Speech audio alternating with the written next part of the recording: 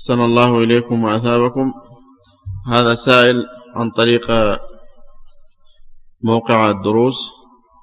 يقول السائل ما حكم ما ينتشر في الإنترنت عن بعض الأخطاء التي تقع من بعض ولاة الأمور أو بعض العلماء والتي لا تزيد في إصلاح المجتمع المسلم بل تزيده سوءا وتذهب به إلى الخلافات وخاصة في هذا الزمن؟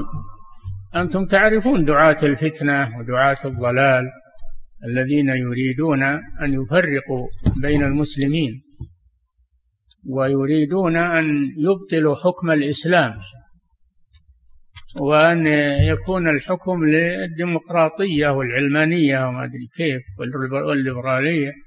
هذا ما يريدونه. فهم استغلوا هذه الوسائل هذه الوسائل الحادثة لبث أفكارهم. وشبهاتهم. فاحذروا منها وحذروا احذروا منها وحذروا غاية التحذير أنهم دعاة فتنة وأنهم يلقون الشكوك والشبهات ويحرضون الناس على الثورات وعلى شق عصا الطاعة. نعم.